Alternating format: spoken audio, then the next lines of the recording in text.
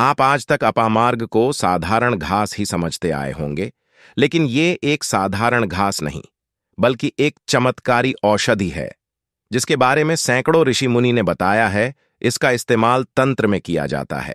जानते हैं किस लिए? वशीकरण के लिए। जी हाँ दोस्तों, वशीकरण करने के लिए इससे ज़्यादा खास कोई बूटी नहीं है। यह पेड़ कोई मामूली नहीं, बल्कि जगह जगह पाया जाने वाला ये पौधा वशीकरण करने के लिए एकदम उत्तम और रामबाण है। ध्यान से देख लीजिए इस पौधे को। इसका इस्तेमाल तंत्र में कैसे करते हैं और कैसे इससे अपार धन दौलत पा सकते हैं, आज जानेंगे। इस संसार में कुछ जड़ी बूटियाँ ऐसी होती है जो अपने आप में ही बहुत ही ज़्यादा खास और विशेष होती हैं। वैसे तो इस संसार में जीतने भी पेड़ पौधे हैं। उनकी कुछ न कुछ विशेषता और खासियत अवश्य ही होती है। इस दुनिया में जितने भी पेड़ पौधे हैं, कोई भी एक भी ऐसा नहीं है जो बिल्कुल बेकार हो। किसी न किसी में कुछ न कुछ शक्ति अवश्य ही मौजूद रहती है, और यह सभी चीज़ें वनस्पति तंत्र के अंतर्गत आती है। यानी कि कुछ चीज़ें ऐसी होती हैं जो तंत्र करने के लिए बेहद आवश्यक, खास और विशेष हैं। तो दोस्तों, आज के इस वीडियो में कुछ ऐसी जानकारी के बारे में। हम आपको बताएँगे कि जिसके माध्यम से आप सामने वाले को अपने वश में कर सकते हैं, बहुत सारे लोगों की यह परेशानी होती है कि जिससे वह प्यार करते हैं, जिससे उनकी शादी हो गई होती है, वह उनकी बात ही नहीं मानता है। काफ़ी लोग हमसे इस बारे में पूछते भी है, बताते भी है कि जहाँ पर काम कर रहे हैं, कार्य कर रहे हैं। उनके आसपास की जो लोग हैं, उनके पड़ोसी है, वह हमेशा ही परेशान करते रहते हैं, जिसके कारण वे कार्य भी नहीं कर पाते हैं। बहुत से जालिम लोग तो ऐसे होते हैं। कि केवल बस आपको दुखी देखना चाहते हैं और कुछ ना कुछ प्रयास हमेशा ही करते रहते हैं। लेकिन दोस्तों, आज के इस वीडियो में जो जानकारी है, वह बेहद खास है, जिसका इस्तेमाल करके आप सामने वाले को अपने वश में कर सकते हैं और जिस भी तरह से आप चाहें, उसी तरह से वह आपसे करने लगेगा। यानी कि अगर वो आपसे शत्रुता रखता है या फिर आपको पसंद नहीं करता है तो इस प्रयोग को करके आप लाभ उठा सकते हैं। इस जानकारी से आप मनचाहा कार्य कर सकते हैं। लेकिन उससे पहले वीडियो को लाइक करके कमेंट बॉक्स में ओम नमः शिवाय अवश्य लिख दीजिए। भगवान शिव की कृपा से साधनाओं की सिद्धि प्राप्त होती है, जिससे व्यक्ति परम सुख को प्राप्त करता है। जितने भी मंत्र होते हैं, जितने भी तांत्रिक क्रियाएँ होती हैं, यह केवल भगवान शिव के माध्यम से ही सफल होती है। तो दोस्तों, जैसा कि हमने आपको पिछले वीडियोस में भी बताया है कि जो तंत्र होता है, तंत्र की जो क्रियाएँ होती हैं उनमें किसी भी चीज़ की आवश्यकता नहीं पड़ती है। केवल ध्यान के माध्यम से ही तंत्र किया जा सकता है, क्योंकि केवल ध्यान ही वह शक्ति है, जिसके माध्यम से कुछ भी पाया जा सकता है, और तंत्र क्रियाओं को करने के लिए ध्यान को ही माध्यम बनाया जाता है, और उसी चीज़ को एक्सेस किया जाता है, जो सभी लोगों में समान और निश्चित ही होती है, जैसे चेतना सब में होती है। तंत्र करने के लिए आम तौर पर कुछ चीज़ों की आवश्यकता नहीं पड़ती है। क्योंकि यह प्रचंड क्रियाएँ होती हैं, जो भी व्यक्ति ध्यान कर सकता है। ध्यान में जब चाहे जैसे चाहे प्रवेश कर सकता है, बिल्कुल शांत होकर बैठ सकता है। अपने दिल की धड़कनों को अचानक से अपने दिमाग का इस्तेमाल करते हुए तेज कर सकता है। स्लो कर। सकता है तो वह कुछ भी कर सकता है, क्योंकि अपने दिल की धड़कनों को बढ़ाना और स्लो करना, दिमाग के माध्यम से यह कोई साधारण व्यक्ति नहीं कर सकता है। यह केवल वही कर सकता है जिसने ध्यान को सिद्ध कर रखा हो। और ध्यान को सिद्ध करने के लिए बहुत ज़्यादा प्रैक्टिस की आवश्यकता पड़ती है, जो हर किसी के बस की बात नहीं होती है, जो तंत्र क्रियाएँ जानता हो। केवल वही व्यक्ति कर सकता है जो ध्यान को पकड़ना जानता हो और दिमाग के संपूर्ण खेल को समझता हो, क्योंकि दिमाग एक ऐसी चीज़ है जो किसी भी व्यक्ति को भ्रम में डाल सकती है। और आपने खुद भी काफ़ी लोग ऐसे देखे होंगे काफ़ी योगी ऐसे होते हैं कि सर्दी में बैठकर ध्यान करते हैं और उन्हें ठंड नहीं लगती। ध्यान के माध्यम से अपने दिमाग को थामने की कोशिश करते हैं, जैसे कि अगर सर्दी हो रही है तो उस समय दिमाग में किस प्रकार के ख्याल और विचार उठ रहे हैं। उन विचारों को बदलने की बहुत कोशिश करता है। इस प्रकार लगातार प्रैक्टिस करने से वे अपने दिमाग पर विजय प्राप्त कर लेता है। तो ये जितने भी बातें हमने आपको बताई है, बहुत खास है।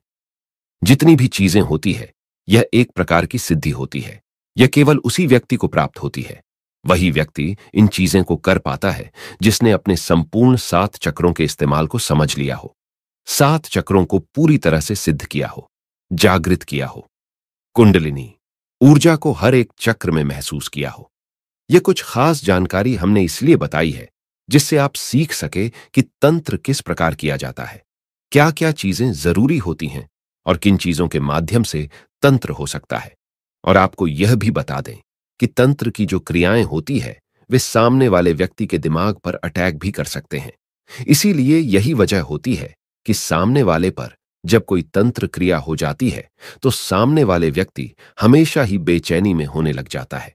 चिंता, घबराहट और बहुत ज़्यादा उसका मन खराब होने लगता है। भूख, प्यास आदि। सब कुछ ही उसकी बेकार हो जाती है। इसलिए तंत्र क्रियाओं को बेहद खतरनाक और सबसे अधिक शक्तिशाली बताया गया है। आपको यह भी बता दें कि जो आज्ञा चक्र होता है, उसी के माध्यम से तंत्र केवल संभव होता है। इसीलिए जितने भी साधु होते हैं, वह रोज़ाना ही अभ्यास करते हैं। त्राटक का, क्योंकि त्राटक में जितनी शक्तियाँ होती हैं, इतनी शक्ति किसी भी चीज़ में नहीं होती है, और यह सबसे आसान होता है। सबसे पहले तो आप इस बात को समझें, और यह बात देखें कि जो थर्ड आई होती है वहाँ पर एक बहुत ही स्ट्रांग ग्रेविटेशनल पुल होती है, यानी कि वहाँ पर बड़ी आसानी से आप ध्यान लगा सकते हैं। उसके अलावा, शरीर में कोई भी ऐसा स्थान नहीं है जहाँ आप आसानी से ध्यान लगा सकें तो वह चीज़ सबसे आसान होती है।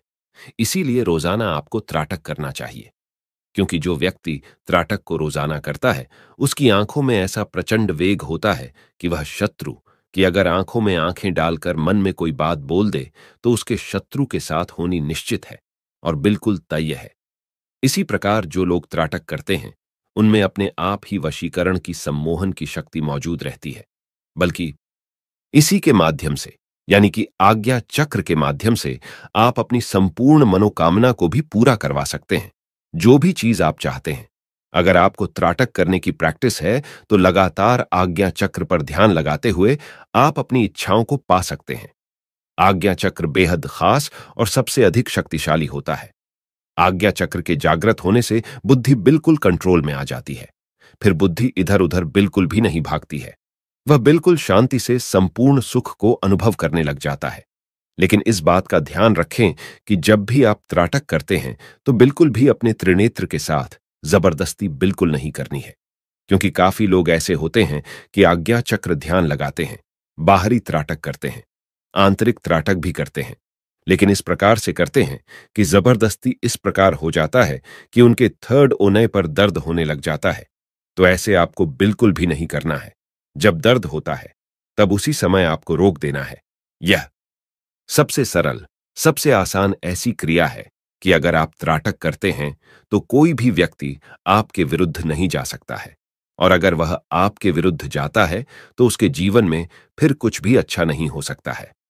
आज्ञा चक्र पर रोज ध्यान लगाने वाला व्यक्ति सम्मोहन वशीकरण इस प्रकार से बड़ी आसानी से सिद्ध कर लेता है कि जिस चीज़ की वह कामना करता है, चाहे वह कोई भी चीज़ हो, उसके पास निश्चित ही दौड़कर आती है। लेकिन दोस्तों, अगर आप ध्यान नहीं कर पाते हैं आज्ञा चक्र पर भी आपका ध्यान नहीं लगता है तो आप कुछ पेड़ पौधों की, यानी कि वनस्पति तंत्र की सहायता भी ले सकते हैं, जैसे कि चिरचिटा का पौधा होता है, जो बड़ी आसानी से कहीं पर भी मिल जाता है। इसे अपामार्ग भी कहते हैं। यह जो पौधा होता है, इसमें वशीकरण की सिद्धियाँ मौजूद रहती है, इसकी जड़ में मौजूद रहती है, और यह कहीं पर भी बड़ी आसानी से मिल जाता है। इसकी पहचान यह है कि इसको जब आप किसी कपड़े पर फेंकेंगे तो वह चिपक जाता है। काफ़ी जगह इसे अपामार्ग कहा जाता है, चिरचिटा भी कहा जाता है, और बचपन में आपने इससे काफ़ी खेला होगा।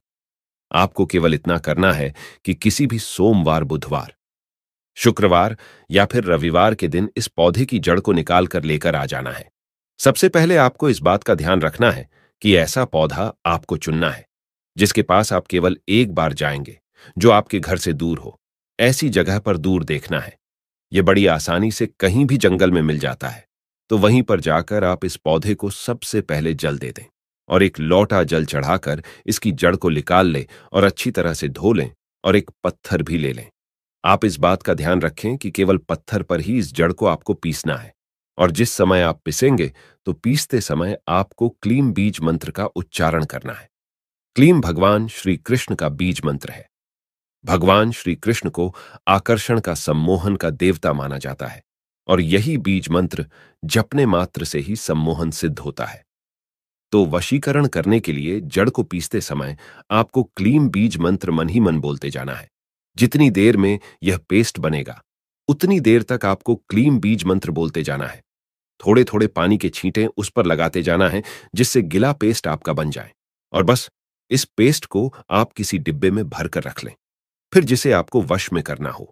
बस उस व्यक्ति को आपको यह तिलक लगा देना है, जैसे ही आप उस व्यक्ति को क्लीम मन में बोलते हुए तिलक लगाएँगे। वह व्यक्ति बिल्कुल आपके अनुकूल हो जाएगा और आपके वश में हो जाएगा।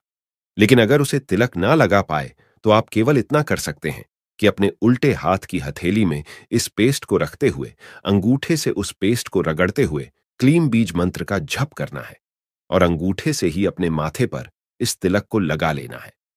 अगर इस तिलक को वह व्यक्ति देख लेता है, जिसे वश में करना हो तो इससे भी वशीकरण हो जाता है। बस, तिलक लगाते समय थर्ड औने पर उस व्यक्ति का ध्यान करें। अगर आप अपने जीवन में अपार धन एवं दौलत प्राप्त करना चाहते हैं तो उसके लिए भी चिड़चिटा का इस्तेमाल किया जा सकता है।